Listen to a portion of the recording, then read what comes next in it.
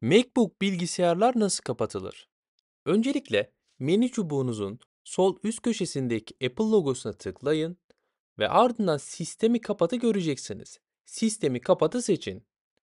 Ve burada tekrar oturum açıldığında açık olan pencerelerinizin tekrar otomatik olarak açılmasını isterseniz bu checkbox'ı işaretleyin. İstemezseniz kaldırın. Ve hiçbir şeye tıklamazsanız sistem 1 dakika içerisinde otomatik olarak kapatılır. Eğer kapatmak isterseniz hemen sistemi kapatı seçin. Eğer vazgeçmek isterseniz de vazgeçi seçin. Aksi takdirde gördüğünüz üzere 30 saniye içerisinde otomatik olarak kapatılacaktır.